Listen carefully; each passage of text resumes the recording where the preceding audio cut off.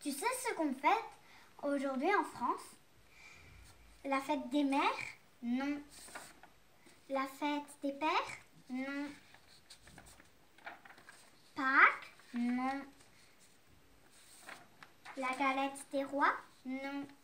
Alors qu'est-ce qu'on fête? On fête la fête des amoureux, la Saint-Valentin.